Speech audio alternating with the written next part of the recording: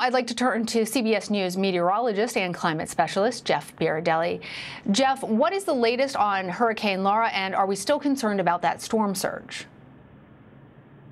Yeah, so at least for another couple of hours, there's still storm surge. And of course, there are live wires down as well in certain places, or at least the possibility of live wires down. The point is, it, it, you know, there are a lot of hazards on the ground there. So even though the storm surge is going to be making its way out to sea soon, there's still at least some leftover water. There's still hazards, so just be aware of that. The storm is still a hurricane, but it's on the verge of becoming a tropical storm. We're going to receive word any minute now from the National Hurricane Center, located right here in the northern part of Louisiana, east of uh, Shreveport, and it's kind of hooking uh, northeast. So it's going to be weakening during the day today, which is some good news. Some of the most dramatic pictures, we showed you this from a refinery in uh, in Louisiana. There's some pictures. I got them from Twitter, but I know we have some video of it as well. So that I would say is one of the most dramatic pictures, and it goes to show you when you have so many chemical and oil refineries in the same area, there is the possibility of damage to these. Uh, so that's that. I thought those were some uh, interesting pictures.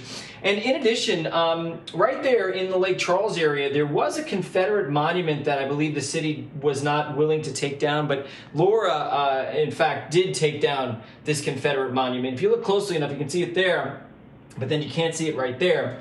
And then the Capital One building, and look at all the windows being blown out from this storm. So you can see the sheer power. Uh, winds were gusting to 130, 140 miles an hour. That's what we measured. However, you know, we don't have uh, a tremendous amount of, you know, observations from this area. Uh, some of the area, at least, is fairly remote. So when we say that it doesn't look like it was as bad as, as we thought it would be, in terms of, uh, let's say, storm surge, where we measured it up to around 10 or 11 feet. It was predicted to be 15 or 20 feet. It's also conceivable it just missed some of the observing stations, if you will, some of the uh, some of the measurements. Um, and in terms of wind gusts, we measured 130 to 140 miles an hour, but when it made it on shore, it had winds of 150. So that would make it the strongest storm we've had at least in 150 years uh, in Louisiana. So that's pretty remarkable as well. Uh, Lana, there's a look at the radar, and you can see that the heaviest rain is now going to be moving up into Arkansas. One of the saving graces from this storm is that it was moving really fast, 15 miles an hour. If you remember Hurricane Harvey from a couple of years ago, it stalled, produced 50 to 60 inches of rain. This only producing really only about 9 inches of rain. As it moves north, the major issue is going to be, I think, tornadoes now.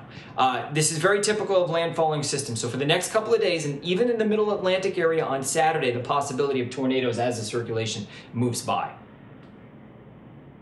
Well, Jeff, uh, going back to some of the, the images you showed, I'm wondering how prepared was the Gulf region for this storm? We obviously have been talking about this for a while. We've been listening to local officials, officials with their storm preps. How, uh, how well did everyone do in terms of that preparation? It seems like most folks heeded the warnings. I mean, this was you could see it becoming a catastrophic storm as it kind of picked up steam across the Gulf of Mexico.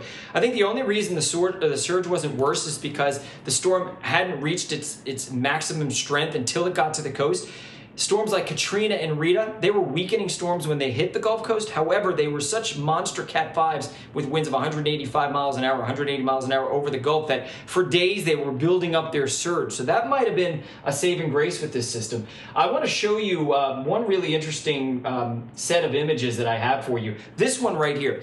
You asked about how prepared they are in the Gulf. One of the problems is, is population is expanding extraordinarily fast. So this is a, a, um, a comparison. This is night. This is day. It's basically the same map. It shows the cone going over the cities here along the Gulf Coast, and it shows how these cities, Houston right there, and Beaumont, Port Arthur there are expanding. So the amount of people living there expanding over the past 40 years. In fact, I think there's been an 80% increase or so in housing there. So the more exposure you have, the more vulnerability you have, the more damage you're going to have. So that's what's been happening despite the fact that we have climate change and we have stronger hurricanes making its way on shore. People are populating the coastline like never before. And so there's a lot more exposure. A lot more people are at risk now than they were back just 40, 50 years ago. All right, Jeff Berardelli, thank you.